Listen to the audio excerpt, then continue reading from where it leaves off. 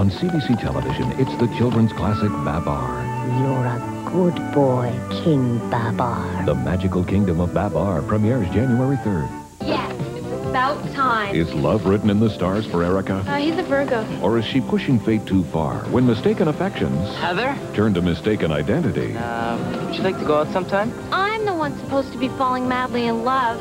What if we switch? But how far will the twins go? Degrassi Junior High, Monday.